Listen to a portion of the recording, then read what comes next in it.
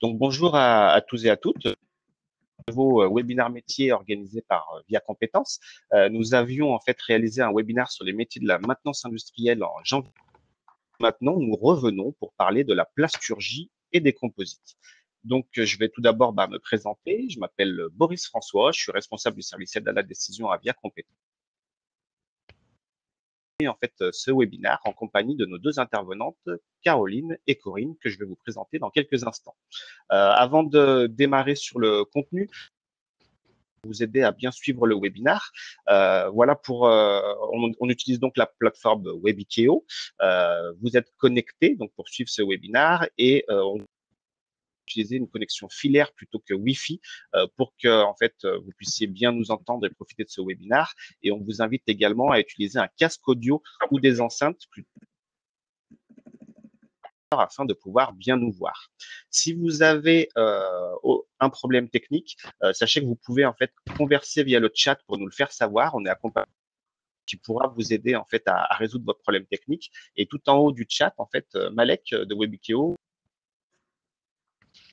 une hotline euh, au cas où, si vous avez besoin d'appeler ce numéro de téléphone, si vous voulez résoudre vos problèmes techniques, euh, en sachant que euh, le webinaire sera disponible en replay ensuite et normalement les conditions seront seront bien meilleures de suivre le webinaire en fait en replay plutôt qu'en présentiel si vous avez des problèmes Internet. Euh, vous dire ensuite que vous avez le support PowerPoint que nous allons vous présenter, euh, qui est téléchargeable en haut de l'écran à droite, et que vous avez à votre droite questions tout au long du webinaire. Euh, donc, n'hésitez pas à poser vos questions pendant en fait les interventions. Et moi, en tant qu'animateur, ensuite, je prendrai le relais à la fin de chacune des parties en fait du webinaire il est divisé en quatre parties et à chaque fois, ensuite, je prendrai en fait quelques questions que je poserai à nos intervenantes. Et pour ce faire, je serai accompagné de Betty de Via Compétences qui euh, m'aidera à sélectionner euh, de rentrer euh, voilà dans le dans le vif du sujet. Euh, Aujourd'hui, on va parler des métiers de la plasturgie et des composites. Euh, dans ce qu'on a mis en avant, c'est que la région Auvergne-Rhône-Alpes, c'est euh, la première région française dans le domaine de la plasturgie et des composites. Euh, on pense souvent à la plastique Valais euh, d'Oyonnax, qui a en fait de la plasturgie en Auvergne-Rhône-Alpes, mais souvent ces métiers en fait de la plasturgie, ce qu'on se rend compte, c'est qu'ils sont soit méconnus, soit en fait une mauvaise image. Et donc en fait on a travaillé avec Alizé Plasturgie, qui est la branche professionnelle et la fédération qui représente CIRFAP, donc un centre de formation, pour travailler sur ce webinaire, pour vous aider à mieux comprendre ce qu'est la plasturgie, quels sont les enjeux, en fait, euh, notamment formation sur ces métiers. Et ensuite, on vous présentera les principaux métiers euh, exercés finalement dans le domaine de la plasturgie avec quelques informations sur les euh, formations qui vous permettent de... Ce webinaire, c'est en une heure, euh, vous apporter des informations de base sur la plasturgie, euh, le secteur économique, les métiers, les compétences. Voilà. Donc voilà comment nous avons construit euh, ce webinaire métier. Et pour ce faire, nous avons donc sollicité bah, deux intervenantes expertes de la plasturgie. Euh, tout d'abord Caroline Saillard et ensuite Corinne Butin, formatrice plasturgie CIRFAP. Donc je vais tout d'abord donner la parole à, à, Caroline un petit peu plus sur ce qu'est Alizé Plasturgie. Donc bonjour Caroline. Alors bonjour à tous. Euh, je simplement, en effet, Boris, il y a eu quelques micro coupures, donc je, je crois que tu m'as invité à, à, à, me présenter et, et, à prendre la parole. Euh, donc bonjour. Merci. C'est ça. Bonjour à tous. Donc je suis Caroline Saillard, je suis responsable emploi formation au sein de la structure Alizé Plasturgie. Alizé Plasturgie est en fait l'organisation professionnelle qui accompagne euh, ses adhérents euh, plasturgistes euh, dans leurs différentes problématiques, enjeux actuels, recherche d'innovation, euh, également accompagnement des salariés, euh, gestion prévisionnelle des emplois et compétences, en fait, sur tous les sujets qui peuvent, qui peuvent être des enjeux pour, pour les entreprises. Et, et c'est du coup très, très vaste. Et puis, euh, dans ces sujets, bien entendu, on va l'évoquer, c'est l'objet du webinaire aujourd'hui. Dans ces sujets, il y a en effet les emplois, les compétences et le souhait euh, de recrutement euh, des entreprises de, de, la plasturgie et des composites. Et pour cela, nous avons aussi mis en œuvre et créé deux organismes de formation. Un premier qui est un organisme de formation continue qui s'appelle le CFP, Conseil Formation Plasturgie, et qui là vient des salariés ou des nouveaux entrants en reconversion, par exemple. et puis également, et ça fait la transition pour, pour présenter Corinne, un autre organisme de formation qui est le CIRFAP et qui est un centre de formation d'apprentis, un CFA, et qui, qui, là accompagne des jeunes apprentis aussi pour bah, faire rentrer tout simplement de, de, nouveaux talents dans nos entreprises de plasturgie et de composite. Corinne, je te laisse te présenter puis, et puis présenter le CIRFAP. Bonjour à tous, donc je suis effectivement Corinne Butin, formatrice au CIRFAP, qui est un centre de formation par apprentissage basé sur Lyon 8e et qui fait partie du pôle formation analysée plasturgie. Les formations que nous proposons vont du bac pro BTS en passant par le titre professionnel, ainsi que des licences, des masters et des ingénieurs en collaboration avec des établissements d'enseignement supérieur. Grâce à des partenariats avec des lycées et des centres techniques, nous avons également, par exemple, des bacs, des BTS sur Monistrol ou Oyonnax. Le CIRFAP représente 420 apprentis, toutes sections confondues, dont 320 dans la région Rhône-Alpes-Auvergne. Moi, euh, j'interviens plus particulièrement sur la partie enseignement technique à l'atelier, sur les techniques de mise en forme des matières plastiques et également sur la partie management de la production sur l'exception de bac, BTS et sur le titre professionnel. Voilà. Merci. Euh, quelques problèmes micro, notamment de mon côté. Euh, j'ai essayé de mettre un fil en espérant que ça sera un peu mieux. Euh, et puis, je vous rassure, c'est pas moi qui vais le plus parler dans le, dans le webinaire. donc, si c'est c'est de bien entendre Caroline et Corinne. Euh, donc en fait, sachez qu'on a découpé en fait et divisé le, le, webinaire en quatre temps. Euh, tout d'abord, Caroline présenter la filière plasturgie et composite. Euh, ensuite, elle présentera les enjeux et les principaux enjeux de la filière. puis, nous enchaînerons sur la partie métier et compétences recherchées sur la partie parcours de formation. Et comme je l'ai dit tout à l'heure, en fait, à la fin de chaque partie, je euh, faire remonter quelques questions que vous aurez posées via le chat. Voilà. Donc, je vous propose de démarrer le webinaire euh, et des composites. Et pour euh, démarrer en fait cette présentation, nous avons choisi de vous passer une petite vidéo réalisée par la Fédération de la plasturgie qui vont vous montrer finalement les différents éléments qui peuvent avoir besoin de la filière plasturgie et composite. Donc je lance la vidéo et elle dure deux minutes.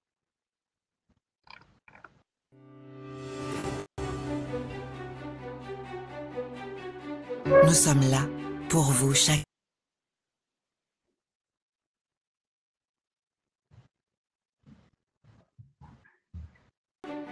Nous encourageons l'espoir. Nous tirons le meilleur de chacun. Et leur permettons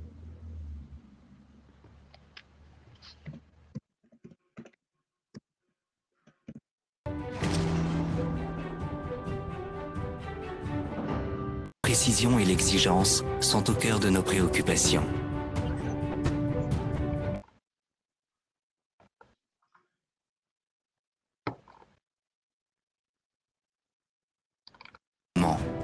Et en meilleure santé.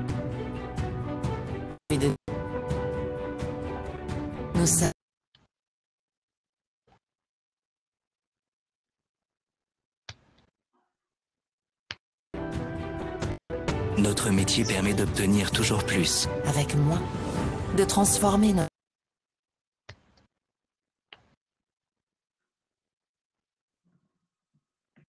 Nous façonnons le futur. Et créons de nouvelles perspectives. Nous sommes ces hommes et ces femmes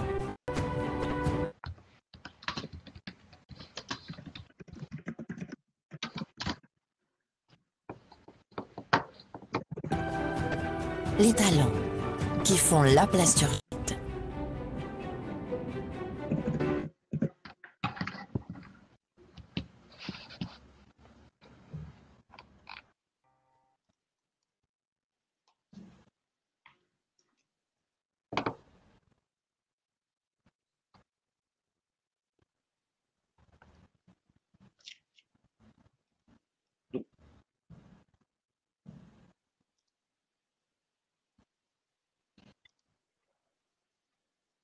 Donc, euh, pour quelques-uns d'entre vous, il y a eu des problèmes sur la vidéo. Euh, sachez qu'on a laissé le lien en fait euh, sur le, PowerPoint que vous pouvez télécharger vidéo sans aucun souci.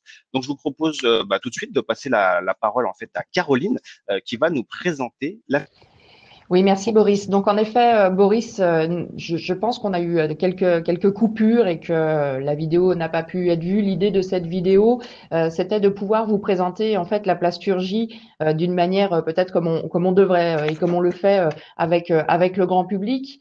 mais là, aujourd'hui, je voulais vous donner quelques, quelques chiffres clés. aujourd'hui, tout d'abord, qu'est-ce que c'est que la filière plasturgie et composite en France?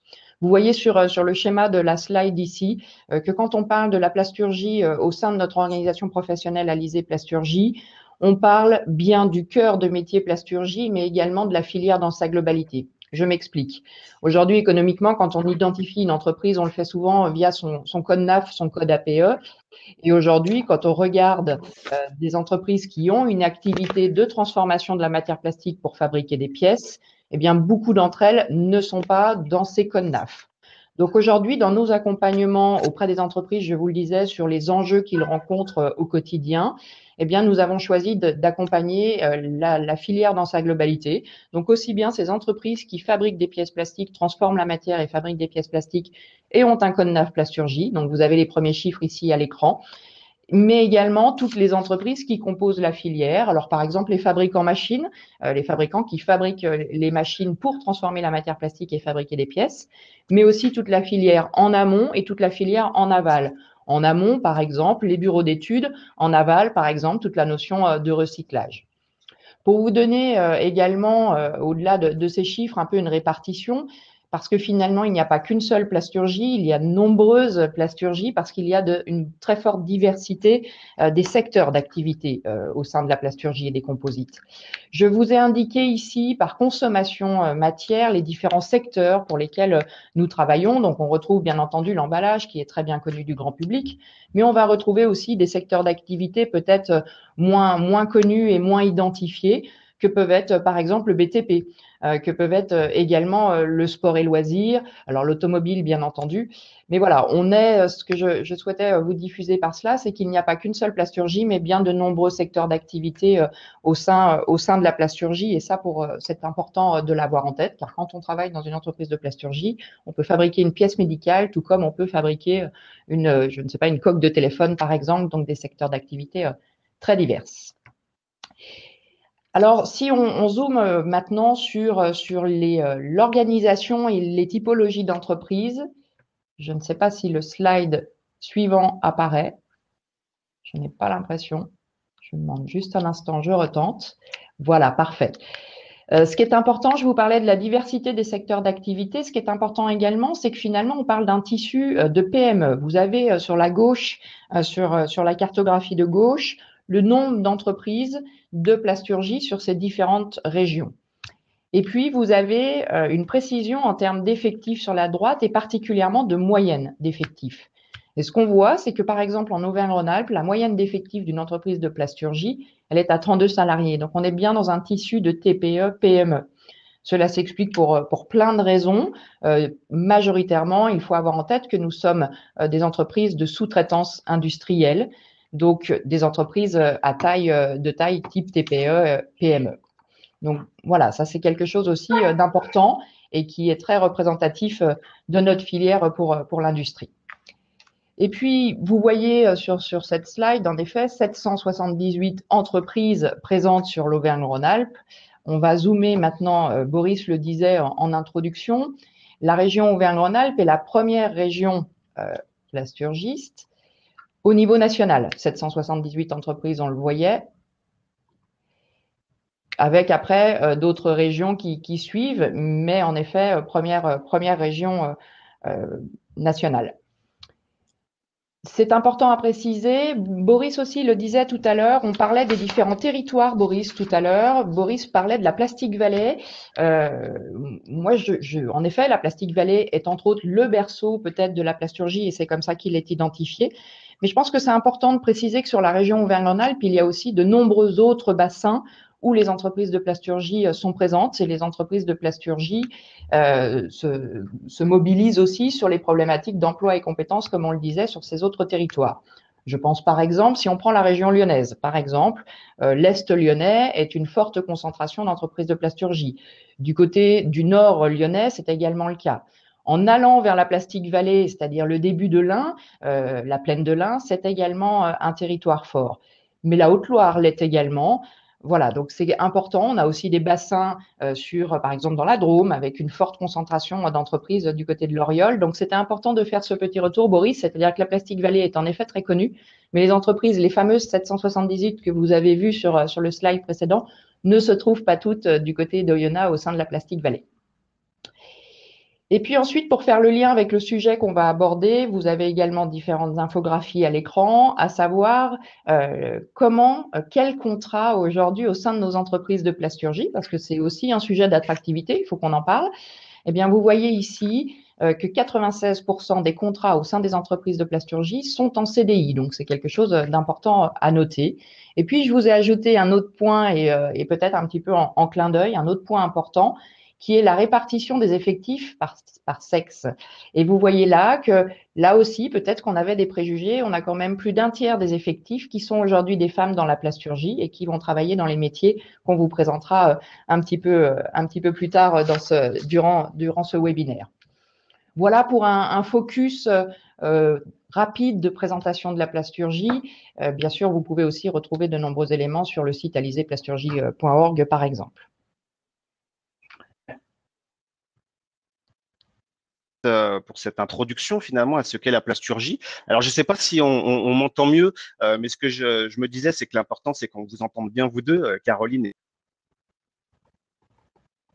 voilà, j'ai vu dans le chat qu'il y avait des questions qui étaient plutôt liées en fait à l'aspect c'est des questions qu'on va garder pour la dernière partie du webinaire. Donc, ce que je te propose, en fait, Caroline, eh ben, en fait, c'est de continuer ton intervention aux enjeux actuels de la filière plasturgie. Alors en effet, les, grands enjeux euh, de la filière, euh, on souhaitait vous faire un, point précis pour que vous ayez une bonne visibilité de, ces enjeux et vous en connaissez déjà. Euh, et on pourra partager après autour de cela, autour de questions que, vous pourrez nous faire parvenir via le chat. Une difficulté qui, n'est pas surprenante et que vous connaissez tous certainement très bien, d'autant plus avec, vos activités pour, l'orientation du public, c'est en effet de pallier aux difficultés de recrutement. Ça, c'est un fort, très, très fort enjeu euh, pour, pour la filière. Pour plein de raisons. Euh, tout d'abord, on sait que l'industrie n'a pas forcément toujours énormément attiré les publics. Et puis après, on aurait presque une seconde difficulté dans la plasturgie, c'est que c'est très méconnu. J'ai pour habitude de, faire un clin d'œil, mais qui était une véritable étude micro-totar il y a quelques, quelques temps de cela, où en fait, quand on interrogeait les gens dans la rue sur qu'est-ce que la plasturgie, ils n'en avaient, mais alors vraiment pas du tout l'idée de faire le lien avec l'industrie de la transformation des matières plastiques pour fabriquer finalement les objets aussi de leur quotidien. Donc voilà, cette notion de difficulté de recrutement nous amène à faire de nombreuses actions et de développer très fortement, en tout cas de tenter de développer très fortement, l'attractivité de la filière. Au travers de cela, c'est euh, bien entendu des actions sur, le terrain pour faire euh, connaître les métiers, pour faire aussi des démonstrations de métiers. J'imagine que certains d'entre vous euh, connaissent déjà le camion de, la plasturgie. On aura l'occasion d'en reparler un petit peu plus loin. Mais voilà, l'enjeu là fort est de pouvoir faire connaître nos métiers, démontrer nos métiers, et puis encore une fois, la diversité d'abord des secteurs d'activité, mais également la diversité des métiers. On y reviendra également un peu plus loin. Troisième enjeu très très fort, le développement des compétences au sein de nos entreprises et la sécurisation des parcours professionnels. Alors c'est important parce que quand on est dans une industrie comme la nôtre, qui est une industrie jeune, les technologies évoluent et elles évoluent sans cesse. Donc euh, c'est important que les personnes qui travaillent au sein des entreprises soit formé régulièrement pour pouvoir répondre à ces innovations technologiques et être toujours en situation de sécuriser son parcours professionnel. Ça nécessite euh, beaucoup de travaux hein, en amont, ça nécessite bien entendu euh, également de mettre les parcours de formation qui vont bien euh, avec ce, ce, besoin en compétences qui évolue régulièrement. et puis donc d'ingénierie pédagogique par exemple, mais également de création de nouveaux parcours. Et puis ça nécessite aussi, pour que les entreprises puissent s'emparer de ces sujets-là, de bien travailler aussi sur la notion de dispositif de financement à la formation. Voilà pour un autre enjeu, un enjeu fort. Ces, trois premiers enjeux se, regroupent en termes d'emploi et compétences, ça c'est indéniable. Et puis, bien entendu, des enjeux, on en parlait tout à l'heure quand nous accompagnons euh, euh, nos adhérents, et un enjeu très très fort sur l'innovation euh, technologique, qu'on parle des procédés de transformation, que l'on parle des matériaux ou qu'on l'on parle des différentes applications possibles. sans rentrer aujourd'hui dans le détail, je, vous prends un exemple parce qu'il me semble qu'il parle bien au grand public également. on parle beaucoup de fabrication additive aujourd'hui. Euh, la fabrication additive, elle est très connue au sein de la plasturgie depuis déjà de nombreuses années. Cette culture d'innovation, elle est là depuis longtemps. Alors, pour plein de raisons, hein, parce qu'en effet, je vous le disais tout à l'heure, nous sommes une industrie jeune et on évolue aussi très, très vite. Et puis, bien sûr, parce que, par exemple, la fabrication additive a beaucoup servi à faire des premiers prototypes avant de lancer des grandes productions de pièces, par exemple. Voilà pour, euh, pour ce, ce quatrième enjeu euh, qui est fort. Et puis enfin, un enjeu, euh, je sais, qui, euh, euh, aujourd'hui intéresse aussi le grand public parce que la société évolue, qui est un enjeu d'économie circulaire. Cet enjeu d'économie circulaire, on, va y revenir très rapidement sur, sur la slide suivante, mais il est important pour nos industriels, il est important aussi, je dirais, dans nos gestes de citoyens, on en est tous convaincus. Et puis c'est aussi l'engagement des industriels alors, je voulais préciser ici versus le plastic bashing dont on a pu, euh, dont on peut euh, être, euh, pour lequel on est ciblé depuis maintenant quelques temps. Moi, je pense que c'est vraiment aujourd'hui une présentation à avoir sur qu'est-ce que c'est que l'économie circulaire, comment c'est un enjeu pour notre filière, mais également comment est-ce qu'on en fait un levier de croissance. Alors, Petit rappel très rapidement, hein, sans, passer trop de temps sur le sujet, encore une fois, vous aurez les slides et, vous pourrez euh, rentrer dans le détail des chiffres. Je vais surtout euh, euh, m'attarder un peu plus longtemps sur qu'est-ce que c'est que l'économie circulaire au sein de la plasturgie et des composites, et puis peut-être prendre un exemple pour que ce soit plus parlant. Aujourd'hui, l'économie circulaire, c'est vraiment tout un circuit pour le, le cercle vertueux aujourd'hui dans la production. C'est-à-dire que la réflexion, elle démarre du moment où on conçoit une pièce et qu'on va extraire la matière pour pouvoir fabriquer cette pièce. C'est-à-dire que euh, aujourd'hui, la matière première a une valeur, il n'est pas question euh, de la gaspiller, j'ai envie de dire, mais elle a aussi une valeur économique. Donc voilà, ça c'est vraiment une notion dans l'économie circulaire qui allie les deux paliers, euh, je dirais écologique, mais également économique. Et puis après, il y a cette notion d'économie circulaire autour de la fabrication du produit où là aussi les procédés sont optimisés régulièrement. Pour aller ensuite sur comment on a conçu, éco-conçu notre pièce et on a pensé également à son transport jusqu'à l'usage du consommateur, mais également jusqu'au tri et à la fin de vie de ce produit. C'est-à-dire qu'aujourd'hui, quand on éco-conçoit une pièce, et c'est peut-être finalement euh, le premier point, quand on éco-conçoit une pièce, on pense à la matière qui va être nécessaire pour la fabriquer, la production et donc l'énergie qui va être nécessaire et puis ensuite, l'optimisation des transports, l'usage, le meilleur usage pour le consommateur. Et enfin, la fin de vie du produit, son recyclage et son retour euh, au niveau euh, de ce fameux cercle vertueux. Voilà pour une parenthèse, il me semblait important de vous dire que c'était un sujet dont on s'empare bien entendu depuis de nombreuses années. D'ailleurs, nationalement, euh, il y a même un label qui est créé et qui a eu un, qui a beaucoup euh, mobilisé les industriels. Il s'appelle d'ailleurs MORE, Mobiliser pour recycler, avec plus de 150 entreprises aujourd'hui qui se sont engagées dans ce label pour pouvoir aussi euh, annoncer des chiffres et parler au grand public de ces efforts sur cette notion d'économie circulaire et de recyclage qui deviennent aussi des leviers de croissance pour les entreprises. Voilà pour, pour la présentation des enjeux, Boris. Je pense que on, a vu euh, les grands enjeux de la profession euh, oui, aujourd'hui. Après, oui, après, on en a même fait une, slide de questions. Euh, c'est par rapport aux enjeux en fait actuels sur la crise sanitaire et économique hein, liée au. Oui. Oui. Qu'en est-il? Quelle info tu peux en fait donner aux participants sur Alors, la situation aujourd'hui, euh, le contexte est euh, perturbé pour nous tous. Il est bien entendu perturbé pour les entreprises euh, de la plasturgie et des composites, comme pour toute l'industrie, mais aussi toute autre activité. Ce que je peux vous en dire à date aujourd'hui, et c'est important, euh, je précise bien à date, euh, on a connu cette période de confinement qui a finalement été d'une brutalité euh, importante pour nous tous euh, et pour toute l'activité économique et bien entendu pour nos entreprises. À ce jour, et parce que nous avons un lien fort avec, euh, avec les industriels, je vous prends un exemple de la région Auvergne-Rhône-Alpes, d'une enquête euh, que nous avons fait auprès d'eux, encore une fois, pour les accompagner euh, dans les sujets qui leur sont importants aujourd'hui et qui sont des enjeux pour eux. C'est 95% quasiment d'entreprises qui nous expriment aujourd'hui être en poursuite d'activité. Ça veut dire qu'en fait, elles ne sont pas en reprise d'activité. Donc, ces entreprises n'avaient pas totalement arrêté leur activité.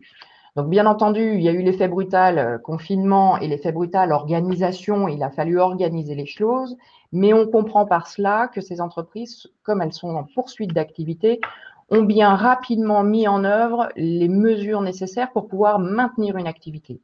Alors une activité, bien entendu, qui n'était certainement pas à la hauteur et qui n'est certainement pas à la hauteur de ce qu'elles avaient pu imaginer avant la crise Covid. Par exemple, là aussi, c'est 25% des entreprises qui nous disent qu'aujourd'hui, elles sont à moins de 50% de leur prévision d'activité à ce jour, mais avec une, encore une fois, la notion de poursuite d'activité faut pas se cacher derrière notre petit doigt, j'ai envie de dire, ça, ça représente de toute façon une perte d'activité, on le donc une perte de chiffre d'affaires. Donc c'est compliqué. Je vous rappelle la typologie de nos entreprises aujourd'hui. Nous avons des TPE, PME, moyenne 32 salariés sur la région Auvergne-Rhône-Alpes par exemple, mais on a vu que sur le territoire, on était de toute façon sur ces mêmes moyennes d'effectifs. Donc forcément, euh, la situation est de toute façon euh, difficile à passer. Je pense que le, est à noter que dans cette notion de, poursuite d'activité, c'est plus de la moitié des entreprises qui ont dit qu'elles ont rapidement repris une activité, qu'elles n'ont pas rencontré de difficultés particulières, alors plus de la moitié d'entre elles, pas de difficultés particulières à reprendre. Donc ça, c'est important, c'est-à-dire que là aussi, on, on, imagine, on comprend en tout cas que les entreprises se sont très très rapidement euh, organisées. Si j'essaye de faire un zoom maintenant sur ce contexte Covid et sur la notion euh, de compétences. Aujourd'hui, ce qu'expriment les entreprises, c'est finalement, euh, en termes de, de, besoins en compétences, la situation n'a pas changé avant Covid et maintenant. Euh, C'est-à-dire que leurs besoins sont toujours sur les mêmes fonctions et sur les mêmes grandes familles de métiers. On le verra, on le verra tout à l'heure. Et puis, nos entreprises sont aussi mobilisées aujourd'hui, c'est important. Elles sont toujours mobilisées, même dans ce contexte, sur le recrutement des apprentis. Corinne euh, pourra témoigner, il y a des entretiens qui se tiennent aujourd'hui euh, à distance. Alors forcément, les entretiens ne se font pas comme avant, mais par exemple, les contrats d'apprentissage, c'est maintenant que ça joue. Eh bien, les entreprises sont toujours mobilisées sur le sujet et toujours sur les mêmes niveaux de diplôme. Donc voilà, on sent que ce besoin en compétences, il n'évolue pas par rapport au contexte sanitaire aujourd'hui. Voilà, j'espère que c'était euh, peut-être simplement terminé par dire que je, je voudrais vraiment avoir une, boule de cristal, mais je crois que chacun d'entre nous, ce qu'on peut noter, c'est que la difficulté aujourd'hui, c'est le manque de visibilité, très clairement. Euh, dans une TPE-PME, le carnet de commandes, il est jamais à très long terme, mais dans le contexte actuel, il est encore plus restreint. Voilà, c'est quelque chose qu'on peut aussi certainement euh, souligner. Merci euh, Caroline pour ce point très clair et, très transparent. Voilà, moi ce que j'en retiens, c'est qu'en fait, vraiment pour l'instant, ce qu'on qu repère, c'est au niveau de l'activité des entreprises. Une poursuite et une reprise surtout de l'activité. Et c'est ensuite qu'on pourra voir finalement euh, l'impact sur l'emploi et les recrutements, puisqu'il y, y, avait une des questions en fait par rapport à ce que tu dis. Euh, la question, c'était euh, quel impact de la crise sur les perspectives de recrutement? Euh, en fait, ce que je comprends, c'est que tout dépend de l'activité et de la reprise d'activité. Ensuite, avec les besoins des entreprises. Alors Boris, je t'entends très très mal, mais je crois qu'en effet, tu, tu, tu ressoulignais les, les ah. sujets. Euh, je, je, pense qu'on peut encore une fois rappeler que la plasturgie, il n'y a pas qu'une seule plasturgie en France. Tous les secteurs d'activité, la diversité des secteurs d'activité, un exemple très simple. Aujourd'hui, quand on est dans le secteur médical et quand euh, on est euh, dans le secteur automobile, bien entendu que l'impact Covid ne sera absolument pas le même en termes d'activité, mais en termes aussi certainement de besoins en compétences. Donc voilà, je pense qu'il faut avoir cela en tête. Euh, Aujourd'hui, je, je, prends également un exemple, mais vous l'avez tous vu hein, dans, dans, les, euh, dans les médias, euh, beaucoup d'entreprises se sont mobilisées aussi sur le sujet d'efforts national, par exemple dans le Covid. Et là, les compétences, euh, on avait besoin des salariés, c'était important. Donc encore une fois, retenir certainement, il n'y a pas une seule plasturgie, mais plusieurs plasturgies du fait de la diversité des secteurs d'activité. J'espère que ça répond à ta question. Parfait, merci beaucoup, Est-ce que vous, vous en êtes d'accord si on poursuit Exactement, c'est parfait. Sur, sur les sujets métiers et compétences recherchées euh, au sein de, de, la plasturgie, avec peut-être tout d'abord, euh, enfin même certainement pour démarrer, un petit, euh, un petit zoom sur, sur les métiers de la plasturgie. Alors tout d'abord, de manière plus générale, quels sont les métiers de la plasturgie? Eh bien là aussi, vous allez me dire que je me répète avec le mot de diversité, mais comme dans toute entreprise, finalement, il n'y a pas un seul service au sein d'une entreprise de plasturgie et il y en a nombreux. Donc, bien entendu, on connaît tous le service production, on l'imagine en tout cas tous, ça c'est une certitude. Donc euh, voilà, je vous ai indiqué par exemple quelques idées de métiers et là aussi avec des compétences très diverses et en fonction aussi d'organisation d'entreprises et de typologies d'entreprises très diverses. Bien entendu, tout le monde connaît le service marketing et commercial. Tout le monde va euh, connaître également le service qualité, hygiène, sécurité, environnement, avec des métiers là aussi euh, très diverses. Et puis euh, la recherche et le développement, alors là encore une fois, tout dépend, on va trouver des métiers très différents en fonction de la taille de l'entreprise et de son activité.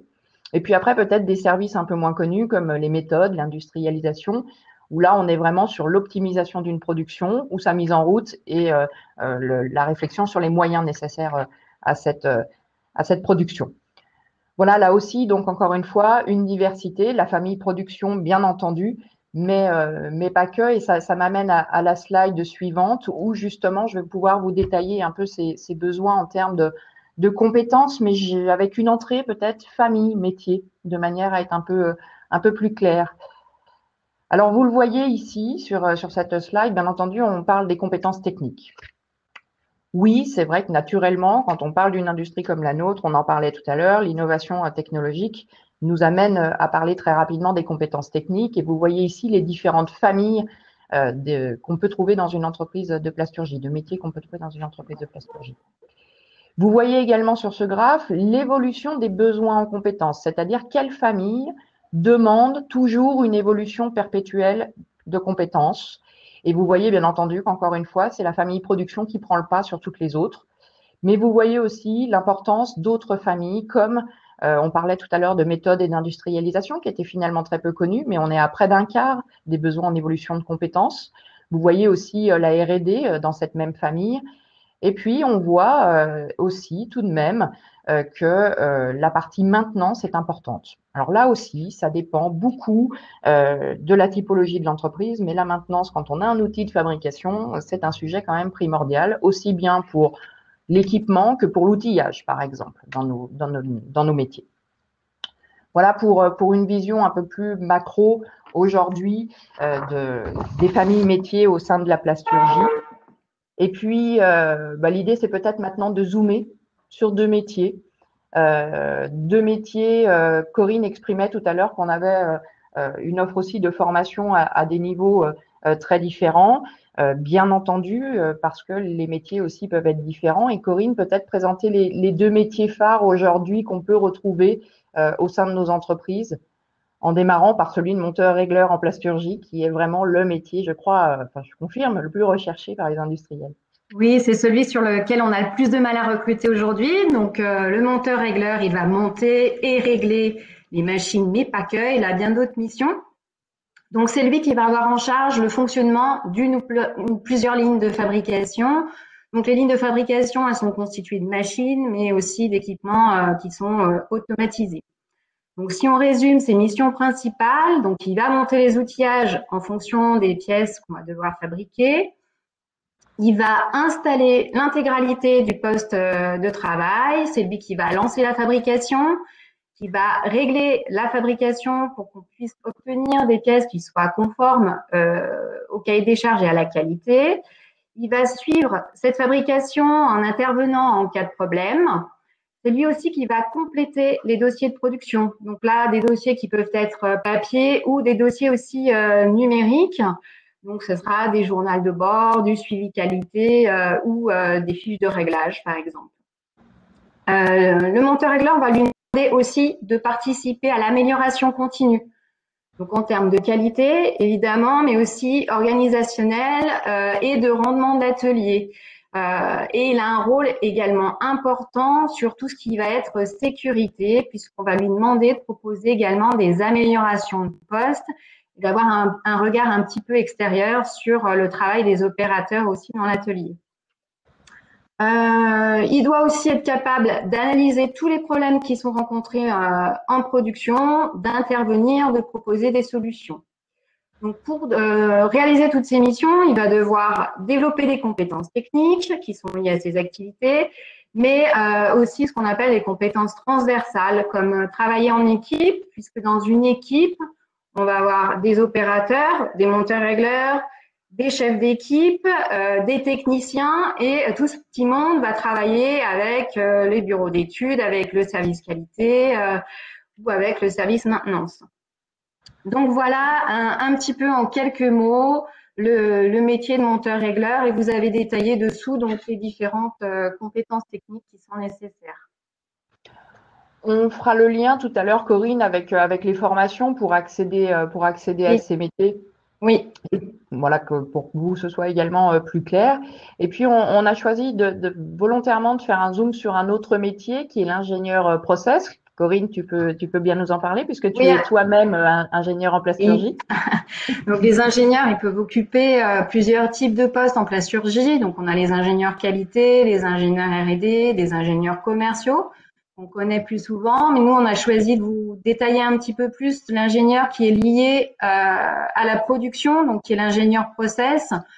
Donc si on résume à lui ses activités, c'est celui qui va mettre en place tous les modes opératoires sur les lignes de fabrication, qui va définir et suivre tous les indicateurs de production euh, en termes de qualité, mais aussi de productivité, de rendement de l'atelier. Euh, il va piloter euh, toute l'industrialisation des nouveaux produits dans l'entreprise, de l'analyse du cahier des charges avec le client, euh, jusqu'à, enfin, il va suivre tout le long du procédé jusqu'à la, la, mise en fabrication des nouvelles pièces. Donc, euh, c'est lui qui va vérifier si la faisabilité technique euh, des projets, bon, en termes de coûts et de moyens pour l'entreprise aussi. Est-ce qu'on va devoir adapter nos lignes de fabrication? Est-ce qu'on va devoir investir? Est-ce qu'on sera rentable? Est-ce qu'il va falloir innover pour pouvoir répondre à notre client? Donc, c'est lui qui validera également euh, la mise au point de l'intégralité du process et qui va lancer les pré-séries, donc les premières pièces euh, en fabrication qui seront ensuite validées par le client. Les compétences à développer, donc elles sont euh, détaillées un petit peu là-dessous. pour compléter, c'est quand même l'ingénieur process, c'est celui qui va, être amené à communiquer avec l'ensemble des équipes fabrication. Donc, il faut qu'il soit capable de communiquer à l'écrit, euh, de communiquer à l'oral, mais, euh, mais euh, également en français et en anglais. pour résumer, donc cet ingénieur process, c'est un petit peu un, pilote qui va gérer les équipes lors du développement d'un nouveau produit dans une entreprise. D'accord, merci Corinne. Alors c'est vrai que là on a choisi de faire un zoom sur la famille production sur, euh, ces deux métiers. Euh, Corinne exprimait aussi euh, cet impératif de savoir aussi interagir avec les services connexes à la production. Hein, tu le disais Corinne, et ça c'est vrai, je crois, dans, dans tous les niveaux, parce qu'encore une fois, je le rappelle, on est dans des TPE, PME principalement, donc savoir échanger. Et ça, ça me fait venir aussi à un point quand même important en termes de compétences, parce que là, on vient de parler ensemble des compétences techniques. Euh, mais avant cela, Corinne, euh, je crois aussi que les industriels, euh, d'ailleurs, quand ils recrutent par exemple un apprenti au sein du CFA, en général, l'apprenti n'a pas les compétences techniques. Par contre, il me semble que l'industriel met un point d'honneur sur ce qu'on appelle nous aujourd'hui les soft skills, à savoir vraiment la notion euh, euh, de savoir-être, de travail en équipe. Est-ce que tu peux euh, nous expliquer un peu ça? Oui, les entreprises, elles vont rechercher des personnes qui seront qui seront curieuses déjà parce que c'est un secteur qui est en constante évolution. Des personnes un petit peu créatives, qui sont capables aussi de, de gérer leur stress dans, dans, des situations dans lesquelles il faut prendre rapidement des décisions. elles veulent des personnes, bien sûr, qui ont le sens du collectif, puisque ce que j'ai dit tout à l'heure, en fait, quel que soit le poste dans l'entreprise, on va être amené à, travailler, euh, enfin ils vont être amenés à travailler tous ensemble. Et l'intégralité de ces compétences transversales, de toute façon, elles font partie intégrante de tous les diplômes. Donc elles seront développées aussi au cours des formations. D'accord. Donc en effet, ça c'est quelque chose que, qui exprime très fortement euh, les industriels, hein, cette notion euh, que nous, professionnels, j'ai envie de dire, des emplois et compétences, on appelle soft skills. Euh, pour vous donner une petite idée de l'importance, c'est que quand nous créons aujourd'hui une nouvelle certification, il y a un vrai accent qui est mis sur ces soft skills avec très souvent la création de blocs compétences sur ces soft skills. Voilà, donc c'est vraiment aussi un point euh, très attendu euh, des entreprises. Voilà pour, pour le. Non, merci, euh, merci Caroline. Ce que, ce que j'allais juste ajouter, alors si on m'entend bien, euh, c'est qu'en fait ces compétences euh, liées au, savoir-être sont pas spécifiques à la dans tous les métiers industriels, puisque lorsqu'on avait parlé de la maintenance industrielle, c'était exactement le même constat qui était fait, et, et, les attendus sont à la fois sur les compétences techniques évidemment, mais sur le savoir-être. Donc j'ai une question par rapport en fait aux difficultés de recrutement euh, en fait, la question, c'est euh, par rapport à l'attractivité, finalement, comment valoriser ces métiers? Euh, il y a des besoins sur les métiers d'opérateur valoriser auprès du public jeune, mais aussi du public adulte. Alors, difficilement, du coup, je me suis permis d'ouvrir le chat et je crois que la question est sur les métiers d'opérateur et comment on valorise aussi ces métiers d'opérateur. C'est bien cela? D'accord. Euh, alors, aujourd'hui, je vous disais que le métier de monteur-régleur, c'était un métier qui était en effet très demandé par les industriels, mais c'est pas le principal, puisqu'on voit bien aussi que sur certains territoires, on a une forte demande d'opérateurs qualifiés.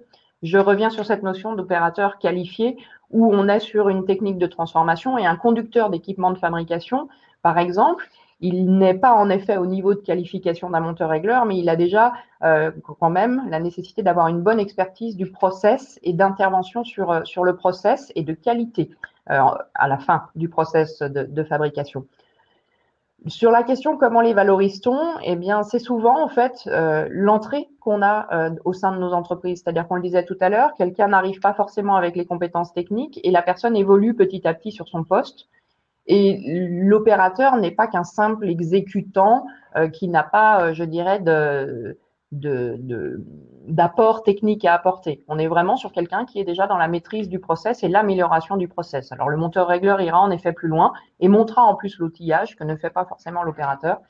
Mais voilà, je pense qu'en effet, euh, c'est aussi dans la démonstration des métiers qu'on redonne une qualification à un mot. Et c'est vrai que peut-être qu'aujourd'hui, euh, le mot d'opérateur, on l'utilise finalement euh, euh, dans toutes nos formations, fiches métiers et autres, on l'utilise de moins en moins puisque les métiers, encore une fois, techniquement, évoluent très vite. Alors, je ne sais pas si ça répond en tout cas à la question, mais voilà pour cette notion. Après, tu peux. Des exemples Puisqu'il y a quand même beaucoup de choses qui sont faites actuellement. Et non, d'action en fait, des exemples d'action pour valoriser justement ces métiers. Eh bien, par exemple, quand on fait euh, des présentations de métiers euh, avec, euh, avec des jeunes, très souvent, on mobilise ce qu'on appelle nos ambassadeurs. Et nos ambassadeurs sont des salariés d'entreprise. Et on ne va pas faire une sélection d'ambassadeurs par rapport au poste qu'il occupe, mais bien aussi parce qu'il a envie de transmettre un message nouveau sur, sur l'activité. Donc, par exemple, on valorise aussi comme cela euh, les ambassadeurs de la plasturgie euh, interviennent régulièrement. Ils viennent par exemple sur le mondial des métiers pour échanger euh, avec les jeunes. Ils sont au sein du camion sur les actions lors des de déplacements du camion sur les différents territoires. Et là, s'adresse aussi bien à des jeunes qu'à des adultes qui souhaiteraient une reconversion professionnelle. Et puis après, on, fait aussi beaucoup de communication. je ne sais pas si vous avez pu voir, mais c'est vrai qu'on a souhaité aussi valoriser l'action euh, des salariés euh, dans cette dernière crise sanitaire. Tu m'interrogeais tout à l'heure sur, la crise sanitaire et l'impact Covid. on a vu beaucoup d'entreprises communiquer sur la mobilisation de leurs salariés. beaucoup de nos, entreprises ont communiqué sur cela. Je pense que c'est un bon moyen de valorisation aussi. Hmm. La quatrième partie sur les parcours de formation? Je pense, Boris, que tu souhaites que nous passions au parcours de formation. C'est parfait. Alors, en effet, les parcours de formation, euh, alors, vous ne retrouverez pas toutes les formations parce qu'elles sont très nombreuses, les établissements sont également très nombreux. On a souhaité toutefois vous donner une vision un peu panoramique euh, des niveaux de formation et des moyens et des, et des dispositifs, euh, j'ai envie de dire, à savoir en débutant par la formation initiale et puis on poursuivra ensuite sur la, la formation euh, certifiante. Sur la formation initiale et diplômante, elle existe aujourd'hui en Auvergne-Rhône-Alpes, mais c'est vrai sur tout le territoire national, sous deux statuts. Le statut scolaire, bien entendu, au sein des lycées avec des périodes de stage en entreprise, et sous statut de contrat d'apprentissage. Donc là, vous retrouvez, euh, parce que Corinne peut nous en parler, euh, elle connaît bien ces formations puisqu'elles sont dispensées par, euh, le CIRFAP, mais il en existe d'autres également à d'autres niveaux avec d'autres spécialisations. vous n'avez pas, par exemple, ici indiqué une licence qui est en, design et packaging. Enfin voilà, vous ne les avez pas toutes, mais elles existent aussi. Simplement, peut-être euh, en, préambule de cette présentation de la formation diplômante, quel que soit son statut, euh, vous dire que jusqu'à aujourd'hui, les entreprises, dans leur recrutement, s'orientent beaucoup sur le bac pro et le BTS. Parce qu'encore une fois, il correspond à ce besoin de famille production, et il correspond aussi à cette évolution en termes de compétences avec les innovations euh, technologiques. Donc le bac pro, et Corinne, tu, me corrigeras, mais le bac pro, c'est quelqu'un qui va à terme être régleur et qui est peut-être aide-régleur au démarrage, euh, qui va avoir déjà une bonne, euh, une bonne connaissance, une bonne assise technique. Et puis le BTS va plutôt, lui, être un, régleur, un monteur régleur plus plus qui va aller vers du management d'équipe, par exemple. Voilà, c'est ça. Et puis on va retrouver au milieu le, titre professionnel. Donc c'est une formation qu'on dispense depuis euh, depuis deux ans, qui aussi a été une demande des entreprises. Donc c'est un monteur-régleur qui va développer des compétences euh, de coordination, de formation des opérateurs et qui doit également organiser la production, optimiser le process. C'est une formation un petit peu intermédiaire entre euh, le bac pro et le BTS, et qui va s'adresser à un public qui sera qui sera différent. En général, nous, on trouve des personnes qui euh, ont arrêté leurs études euh, avec un niveau, euh, enfin un niveau bac ou qui ont un bac, un bac pro. On a des bacs pro tertiaires comme des bacs pro commerce ou compta. des personnes qui ont arrêté en première, des premières scientifiques ou d'autres premières. On a eu des secondes. On a bien sûr des CAP de plasturgie qui sont rentrés en titre pro et on a eu aussi un CAP pâtissier. Donc vraiment des gens un petit peu tout horizon qui arrivent dans cette formation qui veulent se former euh, en plasturgie en étant apprenti sur une formation qui est courte puisque c'est une année et c'est 15 semaines de formation euh, au centre. Donc voilà, l'objectif principal du titre pro, c'est euh, l'insertion professionnelle, mais ça laisse aussi une possibilité d'intégrer le BTS puisqu'une personne qui a obtenu son titre pro peut euh, aller euh, le niveau requis pour entrer en BTS. Alors bien évidemment, si ces personnes souhaitent poursuivre et si elles ont le niveau pour poursuivre, on va mettre en place une sorte de remise à niveau sur les matières générales pour qu'ils rentrent en BTS avec euh, tout ce qui sera nécessaire pour aller vers la réussite. Et ça, cette offre titre pro, je crois qu'elle est récente, hein, Corinne. Enfin, en tout cas, pas récente dans son existence, mais récente dans sa mise en œuvre, parce que là aussi, les industriels nous ont plébiscité sur cette, ce côté très qualifiant. Voilà, c'est ça, puisque c'est une formation euh, exclusivement euh, technique, euh, avec un petit peu de maths quand même et un petit peu d'anglais. Et ça fait deux ans, nous, qu'on la propose au centre de formation. Alors après également euh, en précision, euh, c'est vrai qu'aujourd'hui et ça, va dans le sens euh, de l'histoire, l'alternance est très plébiscitée, mais on voit aussi que nos industriels se mobilisent là aussi sur l'accueil de stagiaires et ne reçoivent pas que des contrats d'apprentissage, des jeunes en apprentissage, mais bien aussi la notion d'attractivité, comme on en parlait tout à l'heure en préambule, est importante. donc les deux statuts euh, ont leur place. Je crois que c'est surtout euh, le, candidat en fait qui euh, qui fait la différence, et puis le candidat qui, en fonction de son souhait personnel, est-ce qu'il veut être en apprentissage ou est-ce qu'il souhaite être sous statut scolaire et puis des périodes de stage. Donc c'est important de le dire. En effet, l'apprentissage et l'alternance est publicité comme dans toute l'industrie, mais aujourd'hui on a aussi de nombreux établissements qui qui permettent à des jeunes d'accéder à la plasturgie sous, sous le statut scolaire. Voilà pour le... Bien sûr. Juste avant de passer à la, avant euh, le CAP euh, et l'insertion après le CAP, est-ce qu'il permet de travailler directement? Ah, En fait, euh, vous avez une question sur le CAP. Permet-il de travailler directement sans permis et quid des conditions de travail? L'interrogation était sur le CAP, hein, c'est bien ça? Oui, sur le CAP. Mmh. Oui. Alors, la question euh, sans permis, c'est en effet une vraie difficulté. Alors, c'est une vraie difficulté pour le CAP, c'est une vraie difficulté pour le bac pro, c'est-à-dire que, en effet, les entreprises industrielles sont très rarement en toute proximité des centres-villes, et c'est vrai que ça, c'est une difficulté qu'on peut avoir aujourd'hui euh, quand on a quelqu'un de mineur, par exemple, qui doit pouvoir se déplacer, ou quelqu'un qui n'a pas son permis, euh, tout simplement. aujourd'hui, c'est vrai que dans la famille production, une grande majorité des entreprises travaillent en équipe postée, euh, donc par exemple en 2-8 ou en 3-8, et que euh, c'est souvent une contrainte pour le déplacement, puisque les transports en commun fonctionnent peut-être moins à ces horaires-là. Donc, euh, le travail posté existe dans l'industrie et c'est une réalité. pour la question sur, le CAP, est-ce qu'il permet de, travailler directement?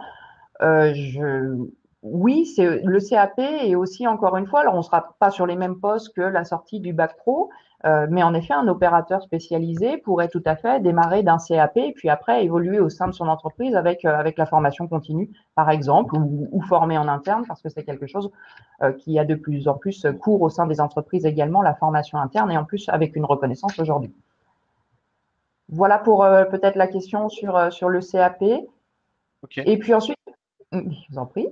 Merci. ce que je vous propose, c'est qu'on continue sur la formation certifiante. Parce que ça aussi, c'est un sujet important, c'est-à-dire quand on est adulte salarié ou quand on souhaite euh, qu'on est adulte et qu'on souhaite faire euh, peut-être une reconversion et cela nécessite euh, une adaptation ou une évolution de compétences sur les aspects un peu plus techniques.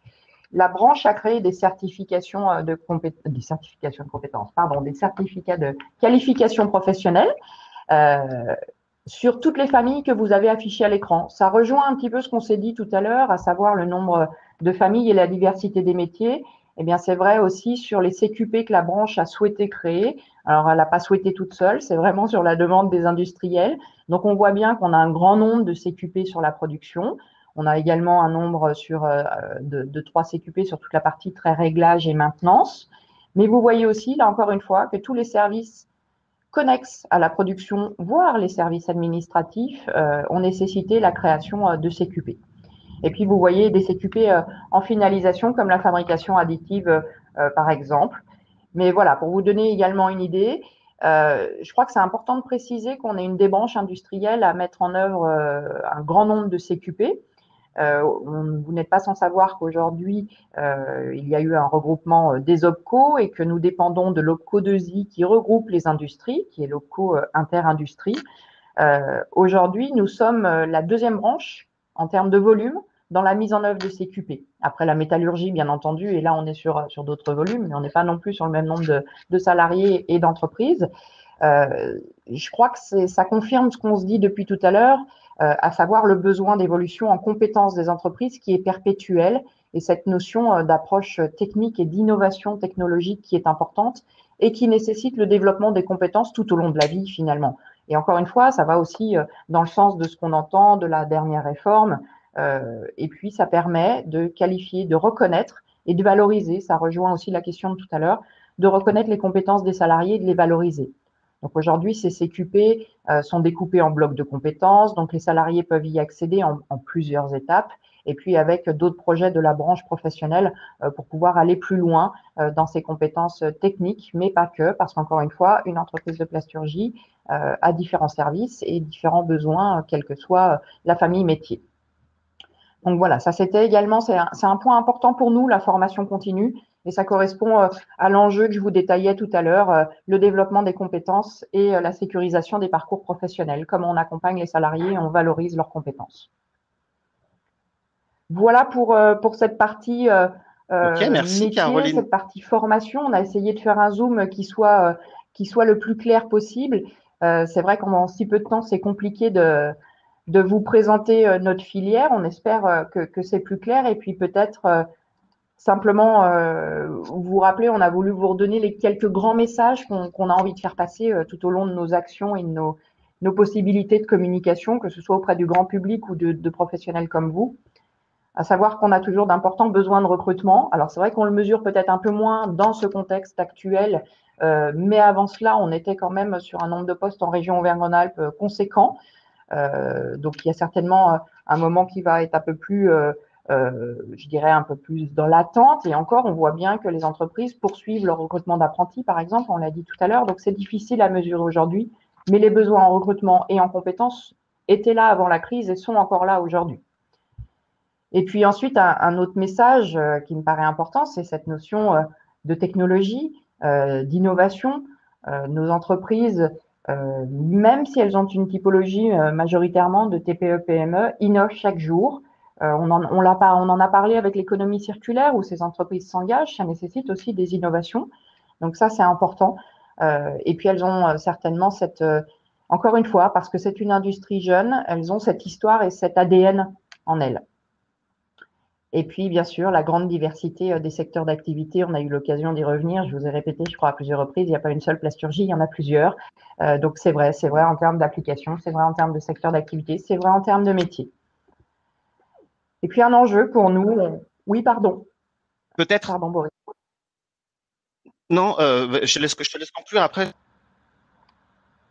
J'imagine que tu m'as dit qu'après nous prenions des questions. Tu voulais dire autre chose? C'est ça, c'est ça. Euh, oui, simplement un enjeu, on en a parlé pour conclure hein, le dernier message, euh, c'est qu'aujourd'hui, euh, les compétences évoluent, je vous le disais, le besoin en compétences évolue aussi, et les compétences transversales prennent de plus en plus d'importance. Alors ça va avec les enjeux sociétaux, par exemple, dont on a parlé tout à l'heure, mais aussi économiques, l'économie circulaire, par exemple, les soft skills, on en a parlé. Donc des compétences transverses, je l'exprimais, qui sont qui apparaissent en termes de blocs de compétences beaucoup plus dans nos certifications et nos diplômes. Par exemple, tous nos CQP, quand on les a redécoupés en blocs de compétences, eh bien maintenant, il y a un bloc de compétences transverse à tous ces CQP qui fait état de tous les soft skills, communication, euh, passage de consignes, euh, économie circulaire, QHSE, parce que c'est important, la notion de sécurité au sein de nos entreprises. Voilà, c'était les quelques grands messages qu'on espérait avoir pu euh, vous faire passer aujourd'hui. Voilà, donc, euh, alors je sais pas, j'espère que tu vas bien m'entendre, Caroline et puis, et puis Corinne. Euh, localisation des formations. La localisation des formations. En fait, la, carte des formations, euh, est-ce que les formations sur la place territoire et est-ce qu'elles sont en lien avec la cartographie des entreprises? La localisation de la formation, si, si j'ai bien compris. Donc, euh, par exemple, en Auvergne-Rhône-Alpes, vous avez en effet au plus près des bassins d'emploi, en général, un point de formation, qu'il soit formation continue ou formation euh, sous statut euh, apprenti, par exemple, ou formation initiale sous statut scolaire. Tout cela au sein de lycées professionnels ou au sein du CFA, le CIRFAP, dont, dont Corinne est la représentante aujourd'hui, là aussi en partenariat avec des établissements sur les territoires. Et puis la formation continue, bien entendu, également au sein de plateaux techniques, voire au sein des entreprises mêmes. Donc l'offre de formation en région Auvergne-Rhône-Alpes, en effet, existe sur différents territoires. Elle est bien représentée euh, au plus près des bassins d'emploi, je vous le disais. Euh, et puis c'est vrai également au niveau national. Euh, c'est-à-dire qu'en général, où il y a un bassin d'emploi et des besoins en recrutement, euh, il y a en effet des formations qui correspondent à ces besoins.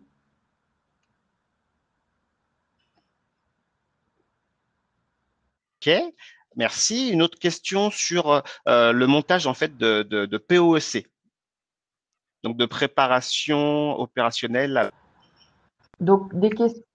Sur les POEC, en fait, est-ce qu'il y a des montages possibles, de POEC Alors bien entendu, les actions collectives sont tout à fait possibles euh, sur sur les différentes formations et pour cela, on travaille avec avec nos partenaires que sont Pôle emploi, le Conseil régional. Donc, bien entendu, des actions collectives POSC sont mises régulièrement en œuvre, par exemple par, le CFP, le Conseil formation plasturgie. Je crois également sur d'autres territoires, sur dans l'Ain avec, avec notre partenaire de l'Ain. Donc oui, oui, tout à fait. Ok. Et je vais, je vais euh, proposer une dernière question en fait sur les qu'il enregistré au RNCP et est-ce qu'il donne une reconnaissance de niveau de formation? Donc sur les CQP, est-ce que les CQP sont enregistrés au RNCP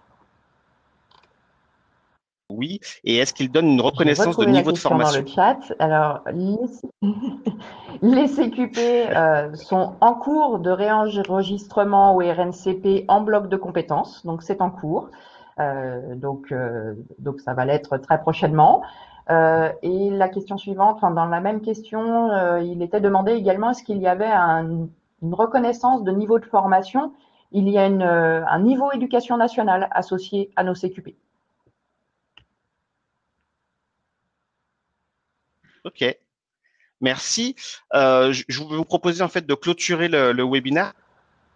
Euh, on, fera certainement une foire à questions euh, avec des réponses en fait sur tout ce qui est passé dans le dans Caroline, tu vas nous présenter des ressources complémentaires pour aller plus loin? Si je passe la diapo suivante, Caroline. Merci Boris. Oui, simplement, on vous a indiqué quelques sites où vous pouvez retrouver euh, des témoignages, où vous pouvez, alors euh, bien entendu, on a indiqué euh, le site de formation du CIRFAP pour la formation en apprentissage, le site Plasturgie Formation pour la formation continue. Là, vous retrouverez des détails sur les référentiels des CQP et justement les programmes qui peuvent être en cours sur, sur la région, par exemple. Euh, il y a bien beaucoup d'autres sites. Hein. On a parlé tout à l'heure du camion. Vous avez le site qui s'appelle Puxi, euh, qui est le site du, lab mobile, tel qu'on l'appelle, le camion de la plasturgie où là, vous allez retrouver des témoignages de jeunes. Ça peut peut-être vous être utile euh, par rapport au, public que vous recevez. Euh, N'hésitez pas, euh, des vidéos, etc.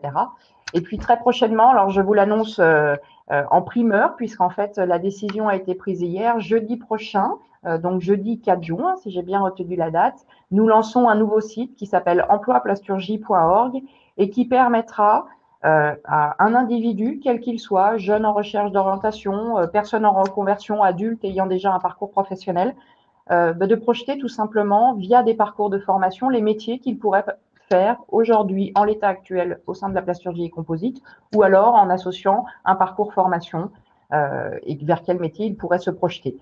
Donc euh, nous lançons, euh, nous ouvrons le site. Malheureusement, le lancement euh, officiel ne pourra pas avoir lieu tel qu'on l'avait imaginé. Mais en tout cas, nous ouvrons le site jeudi prochain. Donc voilà, il peut être aussi un outil pour les publics que vous recevez et qui pourront se projeter sur la plasturgie à partir de leurs compétences actuelles. Voilà, Corinne, est-ce que vous voulez rajouter quelque chose N'hésitez pas à nous contacter pour qu'on vous présente euh, l'intégralité des, formations et à venir nous rendre visite sur le site euh, du CIRFAP à Lyon 8e. Super, donc j'ai